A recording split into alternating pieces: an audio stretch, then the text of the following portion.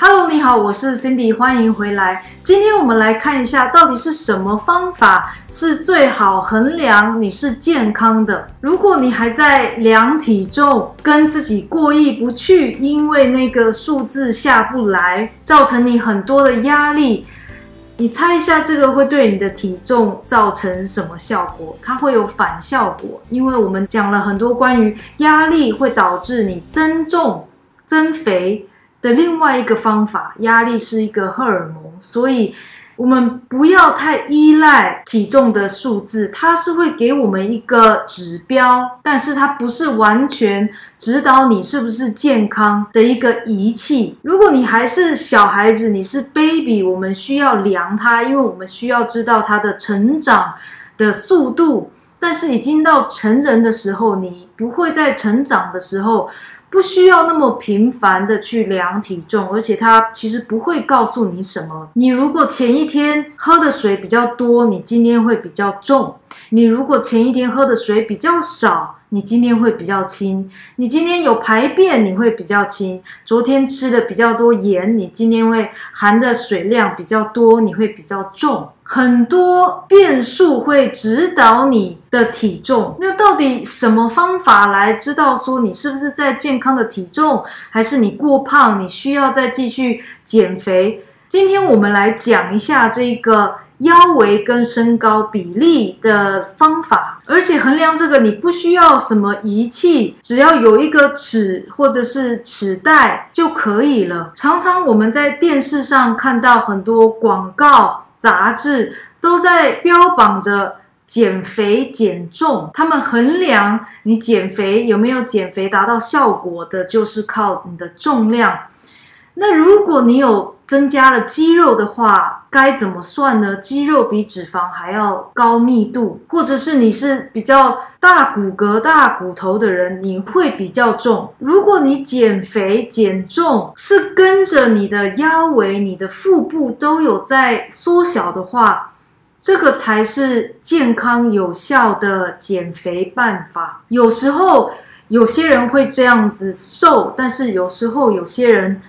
不会这样子瘦，他们瘦了五磅、十磅，但是腰围没有瘦，因为他们很详细的去计算卡路里，他们很频繁的去上那些 boot camp，没有让自己休息，累得头昏眼花，身体的压力水平很高，没有睡觉，没有睡好，这种情形下，他们会瘦脚，会瘦臀部，会瘦手，但是。肚子没有消，这样子是把他们的健康往反方向移动，未来是会制造更多的新陈代谢、代谢综合症的问题。我们身体有一个层次去燃烧脂肪，它不是一下子。就会把身体所有的脂肪一下燃烧完。我们吃进来的碳水化合物、脂肪会先被用作能源。那这些能源在我们的血液里面流动的时候，它的作用就是补充肌肉的能源。那肌肉会存起来使用它。那当肌肉没办法再储存太多的时候，身体就会把它存在。皮肤下变成肤下脂肪，皮下脂肪是比较没有伤害力的，不是那么危险。那再接下来，腹下脂肪储存满了，就开始会储存到我们内脏脂肪。当我们的肝脏的细胞没办法再去接受那么多的能量的时候，它开始把脂肪就堆积在它的附近。没地方丢了，就丢最近的地方。那内脏脂肪又丢满了，还有再多的能量的时候，它就是在我们血液中流动。有高血糖的问题，高血糖的问题就会牵扯到。胰岛素抵抗、糖尿病、脑力、视力、其他的心血管疾病、癌症，所以腰围是很容易就知道说，当脂肪被储存的时候，它是在哪一个程度。你也可以知道说，你有没有胰岛素抵抗。以这个方式来衡量，那计算方法就是把你的腰围除以你的身高。那当你量你的腰围的时候，把尺带放在肚脐的地方，然后你的肚子是完全放松的。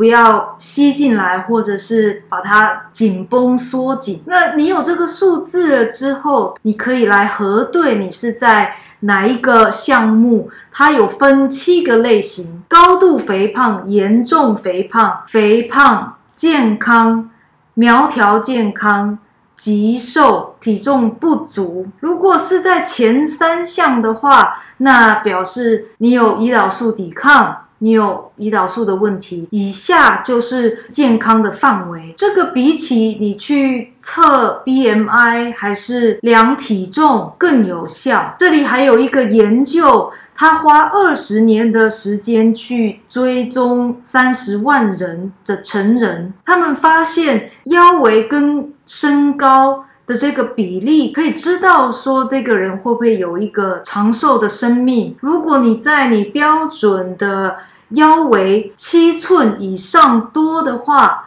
寿命会减少一点五年，而且很多杂志报道开始指出说，BMI 不是真的可以衡量这个人到底是不是健康，因为 BMI 没办法去分别脂肪跟肌肉，还有很多其他应该要加入衡量的变数，所以你如果还在量体重的话。